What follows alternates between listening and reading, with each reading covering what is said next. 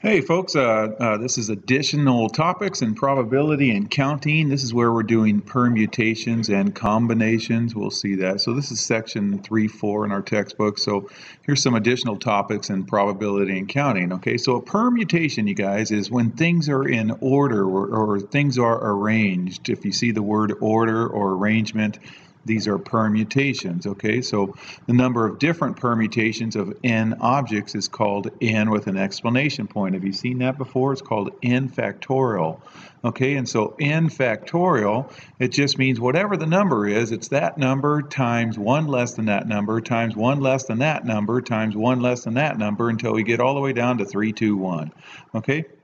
So um, uh, n with the explanation is read n factorial.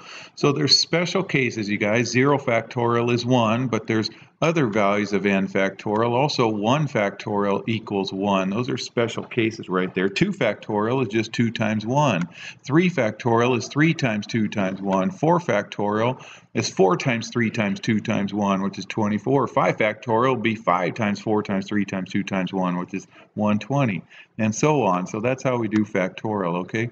So find a number of uh, different ways you can arrange nine different math books on a shelf. The key word is arrange right there. So you see that? That is a permutation. So it's 9 factorial. So 9 times 8 times 7 times 6, 5, 4, 3, 2, 1. And there's 362,880 ways. Okay, go. All right, so different ways anyway. So how many ways can you form a four-digit code if no uh, digit is repeating? Well, one easy way is four. just draw four blanks, okay, and you're going to do multiplication symbols in between them and there's 10 um, uh, there's 10 digits so um, so there's 10 ways for the first digit digits 0 through 9 now you can't use that digit so now there's only 9 digits here and you can't use that digit so 8 and then 7 and so there's 5040 ways okay Another way is since order matters, you guys, is this is called a permutation. So that'll lead us into our permutation formula. So the number of permutations of n distinct objects um, here we have 10 distinct digits here taken uh, R at a time. Here it would be taken 4 at a time. It would be NPR, and you do the the bigger number factorial and then you subtract them factorial on the bottom okay? And r is always less than or equal to n okay? So above we'd have 10 p4 which is 10 factorial over over 10 minus 4 factorial. 10 minus 4 is 6 so 10 factorial over 6 factorial is that right there. And the reason why I have those in red is because those cancel each other out. There's 6 factorial up here there's 6 factorial here so we still get 5040 ways okay so here a psychologist uh, shows a list of eight activities to a subject in an experiment. So, how many ways can the subject pick first, second, and the third activity? Okay, well, here it, arrangement matters. So, uh, since there's three activities and um, it's a permutation because arrangement matters, so you can do 8p3 uh, or just do um, uh, there's eight activities and they used it up. So seven activities and they used it up. So six activities eight times seven times six is 336 ways okay? How many different ways can you arrange the letters uh, a b c d? Well there's four letters so that would be 4 factorial which is 24 well what if the question was uh, a a b c? Well that leads us into this formula here you guys. So the number of different permutations of n objects where you have some repeating uh, objects. Here we have two repeating A's. Sometimes you have more than um, uh, uh, just uh, one letter repeating. You could have two letters repeating or three letters repeating. So the, the N is how many letters there are. In this case, there would be four and we'd put this here for the repeating letters. So however, however remaining, or sorry, repeating letters here are here are the factorials. So there's two A's, so this would be 2 factorial. Okay, four letters, this would be 4 factorial. Okay, all right, and so those are the repeaters right there. So there'd be only 12 ways to do that. Well, how about this? The good old uh, state of Mississippi. Okay, you got to count the letters. There's 11 of them, and then this 4 factorial stands for the four S's. This 4 factorial stands for the four I's. And this 2 factorial stands for those two P's right there, okay? So I, I, um, I always stop at the bigger factorial. So um, here's this factorial, and you can just keep going down 4, 3, 2, 1, but then you got to write that 4, 3, 2, 1, but you know they're going to cancel. Now the other ones you have to write out, you guys, because there's numbers hiding in there. There's a 3, 2, 1, and then 2 is 2 times 1, okay? All right, so they all cancel, you guys. The red guys cancel, and then all of these numbers will cancel with something up there. So this 4 went into 8 two times. This 3 times 2 is 6. That canceled out that 6 right there. And then this 2 goes into 2 and into 10 5 times. So we're left with 11 times 5 times 9 times 2 times 7. Now the reason why I'm showing you that, you guys, is your calculators can't handle these big old numbers. If you punched in, say you punched in 12 factorial, it'll give you a number in your calculator that it doesn't look recognizable. And I'll explain that in class. So you got to break it down somehow so uh, to cancel. Otherwise, Otherwise, um, uh, you're, you're, they're just too big of numbers. I know um, 70 factorial, your calculator says error because it's too big. It's too big even for your calculator to recognize. So they start getting huge and they start giving you numbers that's too many digits for your calculator. So they start giving you this, you know, with a little small 12 at the end, which means move the decimal over 12 places.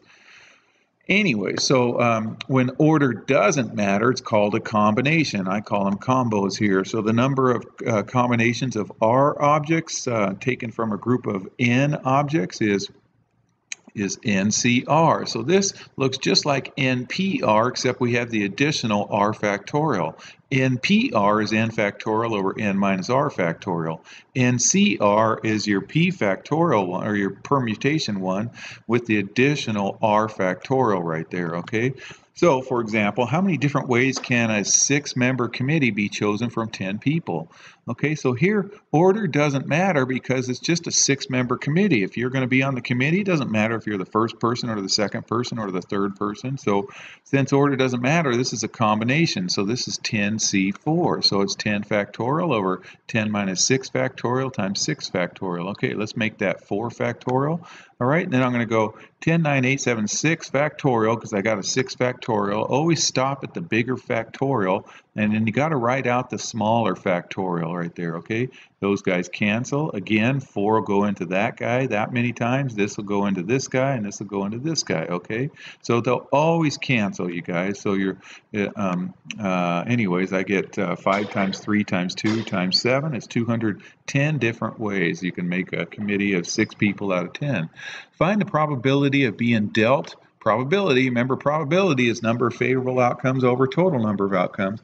So the probability of being dealt five diamonds from a standard deck of 52 playing cards. Okay, so our uh, probability is number of favorable ways divided by total number of ways. So the number of favorable ways is uh, there's 13 diamonds in the deck and we're choosing five of them. We want them to be five. So those are our favorable ways, 13C5, okay? The order doesn't matter, so it's a combination. Sorry, my ring hit the desk right there. The total number of ways of choosing five cards from your deck is 52C5, okay? So our probability becomes 13C5 over 52C5, okay? So 13 factorial over 13 minus 5 factorial times 5 factorial. 52 factorial over 52 minus 5 factorial, 5 factorial, okay? So I just um, uh, went all the way down to the bigger factorials, and then everything cancels, okay? You always got to write the other smaller factorial in there. Okay, 5 will go into one of the numbers on top, 4 will go into one of the numbers on top, and 3 and 2 will, okay? All right, so anyways, I, I did um, uh, cancel those right there. Let's see, this 4 times 3 is 12. It canceled out that 12. This 5 and 2 is 10. It canceled out that 10. So I'm left with 13 times 11 times 9 on top. Okay, on the bottom, this 5 goes, I'm sorry, this 5 and 2 makes 10. It canceled out that guy and made it uh, uh, 5. 10 goes into 55 times. 4 times 3 is 12. It went into 48 four times. So I'm left with on bottom 52, 51, 5, 49, and 4 when I multiply all of those, okay? So there it is right there, and so we get that, and that's approximately tens, hundreds, thousands, ten thousands, five ten thousandths of a chance of um, getting dealt five cards, and all of them are diamonds, okay? All right. So, a food manufacturer is analyzing a sample of 400 cor corn kernels from the, uh, for the presence of toxins. In this sample, they know that there's three that has a da uh, dangerously high level of toxins. So, if three of them are high level toxins out of 400, then there's 397 that are non toxic. Okay. So four kernels are going to be selected at random from the sample. What's the probability? Again, there's probability that exactly one of the kernels contains a dangerously high toxin, toxin, okay? So it doesn't matter about order. These are combinations. So the possible number of ways of choosing one toxic kernel out of the three toxic kernels, because it did say there were three toxic kernels in there, is 3C1, okay? the possible number of ways of choosing the three non-toxic kernels because we're choosing four kernels, okay? And we want one of them to be the one of the toxic ones, only one of them, exactly one of them. So that means the three, the other three are non-toxic. So the possible number of ways of choosing three non-toxic kernels from the uh, the rest of the non-toxics, 397 is 397C C3, okay? So since we're doing this at the um, same time, we use the fundamental theorem of um, counting principles, and that means we multiply uh, those results, and that'll give us the uh, the number of ways of choosing uh, one toxic and three non-toxic. That's the number of favorable ways. Okay, so the total number of ways, and so it equals that. That's how many uh, ways we can favorably get one uh, toxic kernel and three non-toxic. Okay, the total number of ways of choosing four kernels is 400C4. So that's our bottom number. Okay, so probability is our favorable divided by total, and we get about um, uh, looks like about uh, looks like this is going to, they want us to represent it as 30 thousandths, okay? So tenths, hundredths, thousandths, 30 thousandths right there. Okay.